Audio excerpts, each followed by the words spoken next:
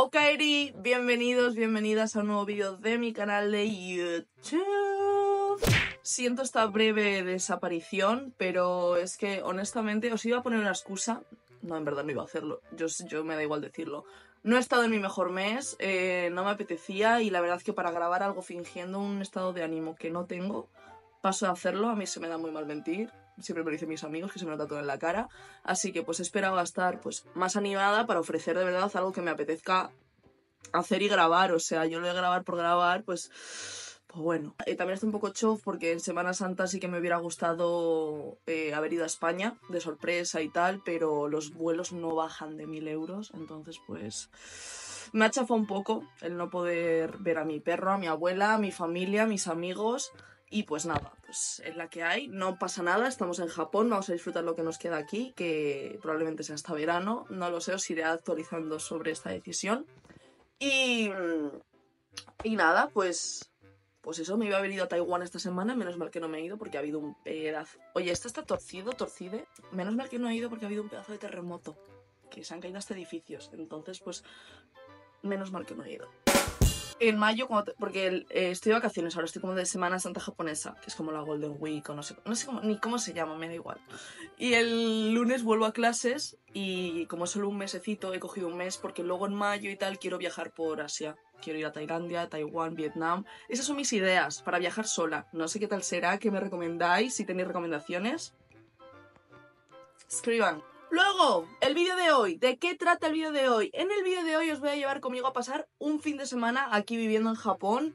Eh, hoy es sábado, mm, vamos a ir ahora a hacer un hanami, que es Hana Flor Mi Ver, pues ir a ver las flores de los Sakura, porque estamos en abril, ya por fin han florecido, tarde pero han florecido.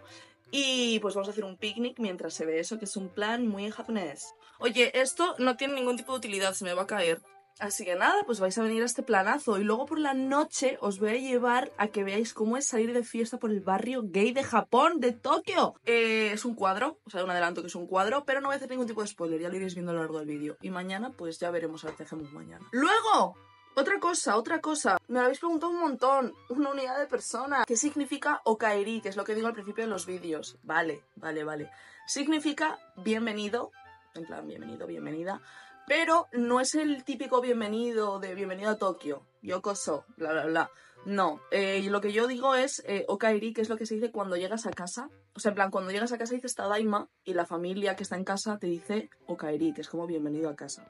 Entonces, pues yo es como el mensaje de bienvenida que os quiero dar cuando vengáis a mi canal. Es vuestra casa, es nuestro, nuestro espacio, nuestro lugar para contarnos nuestras cosas, que en verdad solo hablo yo, pero bueno, los comentarios no los tenéis de adorno. Y, y bueno, eso, y que somos una familia disfuncional, pero somos una familia. Así que nada, después de toda esta charleta que os he pegado, os venís conmigo a pasar un fin de semana aquí viviendo en Japón. ¡Vámonos!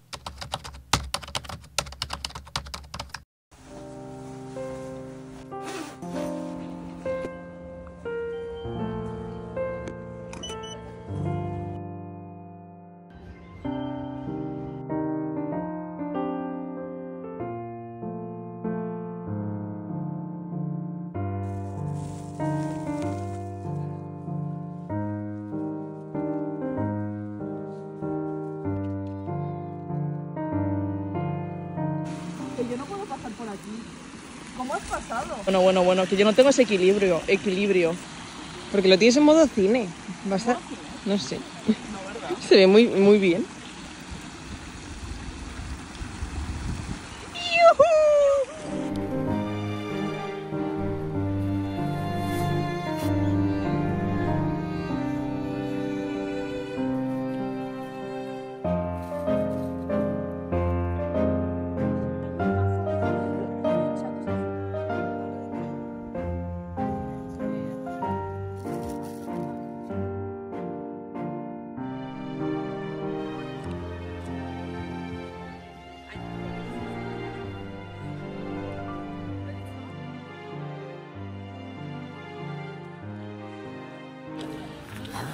No vuelvas.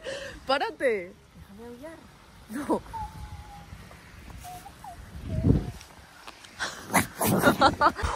Acabo de llegar a casa. Me ha parecido un planazo. Ha sido mi primer Hanami. Eh, si venís a Japón durante los trezos en flor, es un must. Eh, lo bueno es que hemos ido a un sitio cero turístico, porque lo que son las zonas del centro de Tokio y tal están a reventar de gente, hay hasta colas para entrar en el parque. Y bueno, eh, un amigo japonés pues nos ha llevado a este sitio que no había nadie, solo familias, niños y locales, o sea, lo más. Y ahora mismo soy, estoy zen, o sea, siento que, que, he renovado mis, mis, ¿cómo se llama eso? Los chakras, no sé, las energías. Y nada, voy a descansar un poco y ya luego me voy de fiesta. Ah, bueno, bueno, bueno, bueno, bueno, bueno, bueno, bueno. Eh, hoy me han propuesto un plan para mañana. Eh, a lo mejor tengo que censurar alguna cosa porque yo no sé si va a poder salir todo tan explícito. Pero mañana vais a flipar. Vais a flipar. Así que... Quédate a ver el vídeo. Hoy os voy a llevar conmigo a que veáis cómo es la fiesta LGTBIQ+++++ aquí en Japón. Eh, la verdad que no es como en España o cualquier otro país europeo en el que sean más abiertitos de mente. En Asia sí que es cierto que les cuesta un poquito más este tema. Para empezar, aquí en Japón el matrimonio eh, con personas de tu mismo sexo no está permitido. He de decir que también me preguntáis, y he visto que tenéis mucha curiosidad sobre cómo se trata el tema gays, lesbianas aquí en Japón. Evidentemente no te van a pegar ningún comentario ni te van a decir nada porque ante todo es una sociedad en la que el respeto es lo que rige todo, ¿vale? Entonces la gente que es muy respetuosa no te vas a llevar ningún comentario despectivo ni nada. Pero luego a la hora de, que a lo mejor es tatemae, es decir, mm, que aquí tienen la palabra tatemae, es la cara que tienes que dar a los demás, que es ser súper respetuoso. Eh, luego el hone es lo que realmente ellos piensan en su casita. Que yo he visto entrevistas que les preguntan a los japos, ¿y tú qué piensas del matrimonio homosexual? ¿O tú qué piensas que puedan adoptar niños? Y están en contra o no les hace mucha gracia la idea, por lo general, por lo general. Entonces os voy a llevar de fiesta eh, al barrio gay, yo lo llamo el barrio gay, se llama Nichome, está en Shinjuku, y está lleno de discotecas LGTBI friendly. Y luego, de hecho, también es por donde salen muchos extranjeros porque a veces te ponen reggaetón, te ponen música más mainstream, porque una cosa que he flipado es que aquí en Japón no saben poner música de fiesta. O sea, yo estoy de fiesta en Shibuya, zona heterosexual, y me plantan... Hola, hola, hola, cómo se me cae el pelo. Y me plantan a Ed Sheeran mientras estoy de fiesta o a Bruno Mars. ¿Qué es eso? Y también os voy a enseñar cómo es el hacer las previas aquí, el ir de fiesta. No sé, es, un poco diferente a España. Porque tú en España pues te coges tu calimocho, te lo bebes en casa con tus amigos o vas a un bar en el que pagas 3 euros por un calimocho que probablemente te lleve a urgencias y ya vas a diferentes bares o discotecas. Aquí es bastante parecido, pero bueno, es que no os voy a hacer spoiler, no sé qué estoy diciendo. Una cosa de vivir sola es que probablemente acabe desarrollando esquizofrenia. O personalidad múltiple. ¿Cómo es salir al chueca japonés? Vámonos.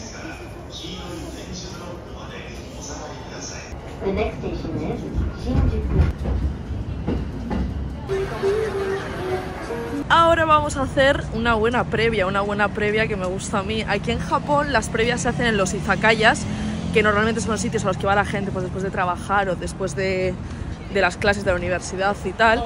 Y son literalmente locales donde tú puedes cenar y beber hasta bastante tarde. Y hay muchos de ellos se puede fumar hasta adentro. Yo voy a un sitio que se llama Torikizoku, apuntároslo si queréis venir, Torikizoku. Y es literalmente el 100 motellitos versión japonesa. Tú tienes una pantalla donde puedes pedir de todo lo que quieras, de comer y de beber. Y luego otra opción para hacer una previa es ir directamente a la convenience store, al convini, porque ahí venden alcohol y abre las 24 horas. Entonces pues depende de la opción que tú quieras. Yo voy a coger las dos. Primero vamos a ir al sitio este y ya luego vamos a ir a la convini. Así que enseñároslo. Eso de ahí arriba es mi segundo hogar. Es muy fuerte porque aquí en muchos locales tienes que ir como por trastiendas que parece literalmente que te vayan a secuestrar y traficar con todos tus órganos. O sea, ¿dónde estoy? Wow.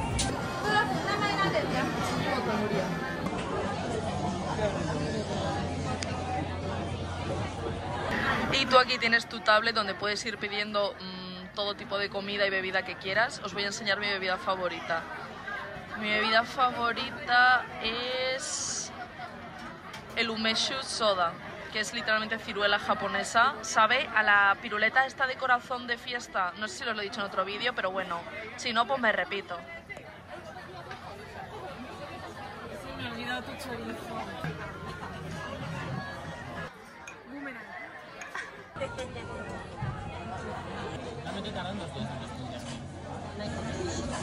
Hola.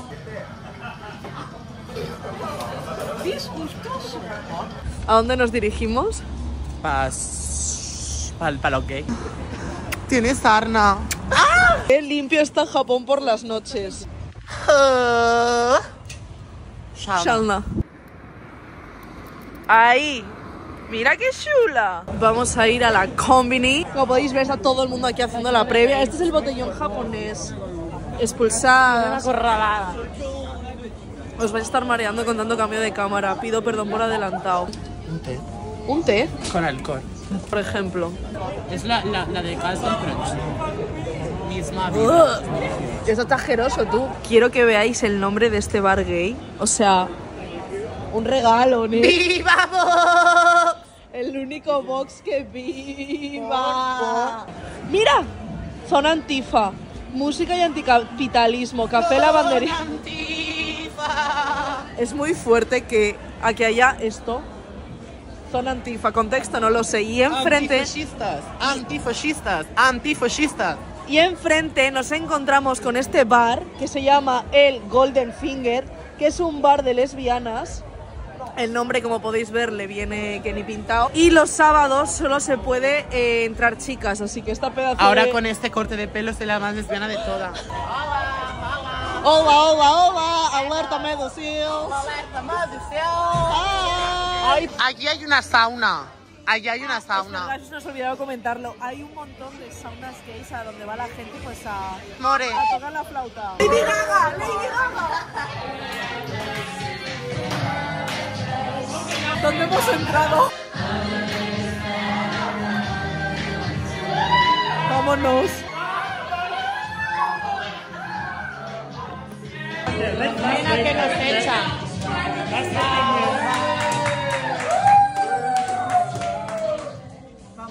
Nos hemos dado cuenta y hemos entrado, claro, con esto. Digo, ¿por qué nos quieren echar? Porque hemos entrado, claro. Literalmente un bar de osos. No, no, mirad esto, que le está llevando con una cadena y lleva un gorro de perro. Oye, esto está siendo muy random. Wow, wow, wow, wow. O sea, wow, literal. La cadena. Están esperando para entrar en la sauna. Y esto es la famosa sauna. Wow. Un tori gay. Siempre ponen RuPaul en las pantallas. Vamos a encontrar una tienda que abre aquí 24 horas y es literalmente una tienda de qué? De gays. De gays, de por. De juguetes sexuales, de contenido muy explícito, así que no creo que pueda grabar mucho aquí. Esa es otra tienda solo de calzoncillos que abre también las 24 horas. Viciosa. Ahora nos dirigimos a nuestro bar de confianza, el King. Ahora como eh, es literalmente temporada alta de turismo, está petado de gente que no... Normalmente no hay esta cantidad de gente, estoy en shock. No, no, si estoy agobiada ya y no hemos ni entrado. O sea, es este. ¡Eh, poto! Hasta cago. ¡Qué agobio! Me quiero ir. Nos hemos ido a la zona heterosexual porque eso no, no estaba floreciendo. No estamos en nuestro hábitat. Estamos en el Shibuya Crossing. Nunca vais a ver este cruce con tan poca gente. Mira esa pedazo de rata. Dios mío.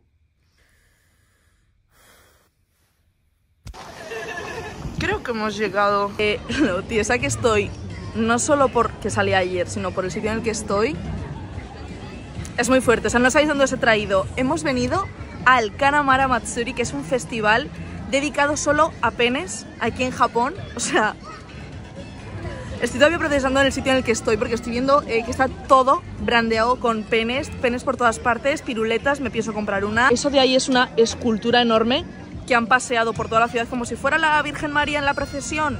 Pero bueno, vir- virgen precisamente, no. Que es en teoría como en honor a la fertilidad. Vale, me he informado y resulta que no es solo por la fertilidad o la prosperidad en el matrimonio, sino que todo esto surge en el periodo Edo, allá pues por pf, 1600 no sé cuántos, donde las prostitutas rezaban pues para protegerse de enfermedades de transmisión sexual y pues para que les, den dinerillo, pues por, por- negocio, ¿no? No sé, a mí me choca mucho porque aquí en Japón son para unas cosas súper tímidos, súper eh, pudorosos, pero luego eh, de repente tienen el otro extremo y, no es que lo normalicen, es que te hacen un festival Estamos en Kawasaki, se celebra en Kawasaki eh, todos los años. Está en otra prefectura, o sea, no estamos ni en Tokio. Una hora en tren hasta aquí. Estamos en la prefectura de Kanagawa. Kanagawa, sí, si no me equivoco. Aquí están contando como un cuento tradicional de un tío que se le pone tiesa la, la cosa. O sea, miradlo. O sea, mirad esto. 3回も4回も立ってやついねえだろそんなに俺若くねえんだからよ若くねえんだってんだよせーのもっこりはんタイミング合わない Eh, Estoy, os lo juro, ¿eh? O sea, yo no... Me encantaría poder decir algo más en este mini blog, pero es que no me salen las palabras. O sea, ojalá entendierais lo disociada que estoy. Estoy en un sueño febril. Mira, esto de aquí es una máquina gacha que vale mil yenes, o sea, 6 euros o así, en el que te sale un mini pene. Y la foto de aquí, este debe ser el... un actor. Thank you. ¿Qué es esto que me han dado? Este a la derecha es un actor porno súper famoso aquí en Japón, o eso me ha dicho un japonés. Este stand te venden camisetas, gorras, todo lo que te puedas imaginar de, de, de falo. Eh, está Luisito Comunica entrevistando con un micrófono de penes en un templo japonés en, en, en Japón. Chicos, estoy en un sueño febril. Qué micro más chulo, ¿eh? chido, ¿no? Está, está majo. está majo. Oye, Yayo, ven tantito, amigo. ¿Me dejas entrevistarte rápido? Te quito un minuto.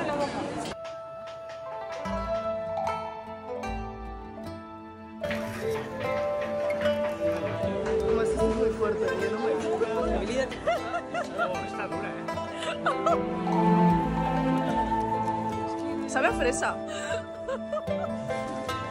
Quiero tirar este caramelo.